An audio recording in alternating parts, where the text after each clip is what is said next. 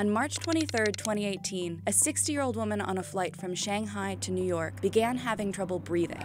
When she started slipping in and out of consciousness, the pilot knew there was only one thing to do to save her dump more than 65,000 pounds of fuel into the sky. The flight then made an emergency landing in Anchorage, Alaska, where the passenger recovered in a local hospital. But how did draining almost $20,000 worth of jet fuel save her life? Fuel dumping simply explained is an aircraft losing weight before it lands. Anthony is an associate professor at Embry Riddle Aeronautical University, and what he's talking about is officially called a fuel jettison. Planes are designed to land below certain weights. A heavier plane is more likely to hit the ground hard and get damaged. It's got 5,000 gallons of fuel, which is about three elephants weighing it down. So landing with a full tank is pretty risky. But most flights aren't landing with a full tank. They might not be taking off with a full tank either. Before takeoff, the flight planner calculates the amount of fuel needed to complete the trip, so that enough fuel gets burned off over the course of the flight and the plane's weight comes down, and then it's safe to land. A pilot will choose to dump fuel only on very rare occasions, Let's say you have a medical emergency on board. Someone's dying. You don't really have time to, to fly around and, and burn fuel. So in that case, that's when you would dump fuel so that you can lose weight quickly. If the pilot has a little more time or doesn't have the capacity to dump fuel, like in a lot of smaller crafts, they might dirty up the plane. This means purposefully creating drag and flying around in circles in order to burn off the excess fuel. But if a passenger is critical, like the woman from 2018, they might not have time for that. Fuel jettisoning systems can dump thousands of pounds a second. Most can get a plane back down to its max landing weight in 15 minutes or less, and it's usually as easy as flipping a switch in the cockpit. Most systems are a series of pumps and valves that divert the fuel to the tips of the wings. The fuel streams behind the plane in what looks like contrails. And yes, there is a failsafe in place to stop the pilot from expelling all the fuel at once.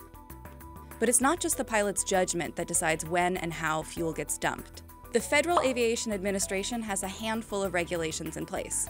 The plane has to be at least 2,000 feet above the highest obstacle along the route, at least 5 miles from any other aircraft, and away from populated areas and bodies of water whenever possible. But aside from this page of FAA policy, that's about it when it comes to regulations. Dumping fuel into the atmosphere isn't free of consequences.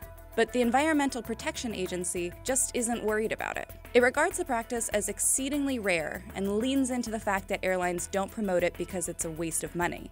If we get to a point where we're seeing more aircraft with the capability to dump fuel, and we're seeing more aircraft dumping fuel, and maybe not from an emergency point of view, then maybe yes, that would be something that the EPA would need to look into.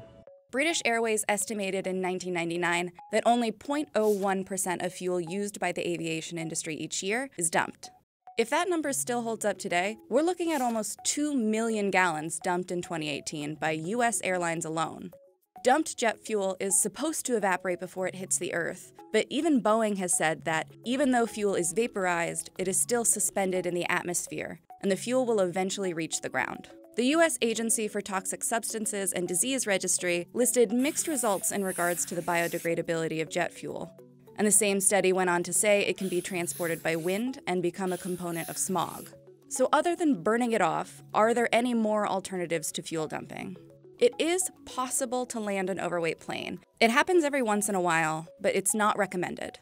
The Flight Safety Foundation lists almost 300 airplane safety incidents from the beginning of the 1900s to now that include landing heavy as a contributing cause. Whenever it happens, the plane stays grounded for a lengthy inspection before it's allowed to fly again.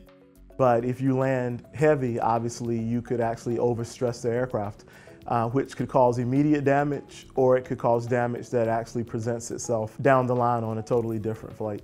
No matter if a flight crew decides to dump, dirty, or land heavy, each option has its pros and cons. But in an emergency situation, um, your job as a pilot is to get the aircraft down to the ground as quickly as possible and, and as safely as possible. And if that means landing heavy, then that's just a decision that's going to have to be made. In some situations, you really don't have a choice. You, you have to get down. Ultimately, it comes down to keeping passengers safe.